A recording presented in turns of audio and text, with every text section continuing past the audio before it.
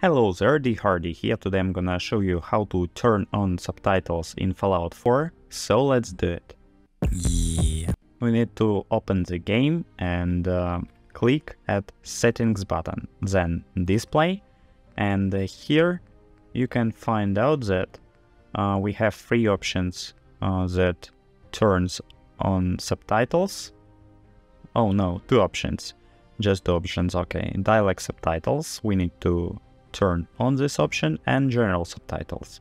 So we can back and now after saving we can load the game and uh, like we will see our game has subtitles. Perfect. I hope this video was helpful.